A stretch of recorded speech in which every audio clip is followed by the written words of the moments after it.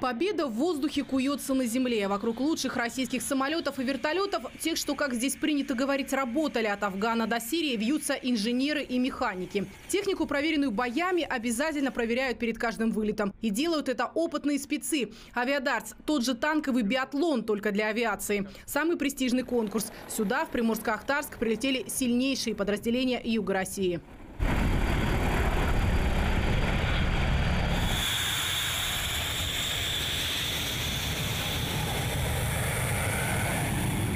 Су-34 здесь называют автоматом Калашникова от самолетов, такой же надежный и простой в обслуживании. Он взял от предшественников все лучшее. От 24-й сушки огневую мощь, от 27-й базу, то есть аэродинамику. По всем характеристикам оставляет далеко позади конкурентов в своем классе истребителей и бомбардировщиков. Универсальный боец, способный сбивать вражеские самолеты и равнять землей военные базы. Сегодня разве что бомба учебная 50 килограммов. Но и такая способна дом разнести на части. Все остальное стандартной комплектации комплектации 30-миллиметровая пушка и ракетные блоки.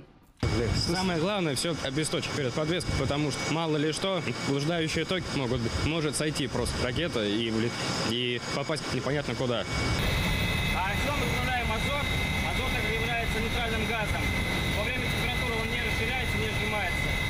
И во время срабатывания, например, аварийного выпуска шасси, он является дополнительным источником энергии для выпуска шасси.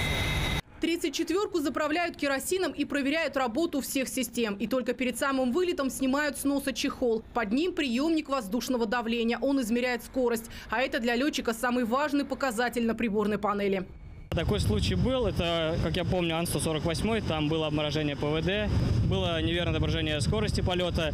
И, соответственно, чего летчики не знали истинную скорость, и у них не хватило подъемных сил для того, чтобы совершить правильную посадку.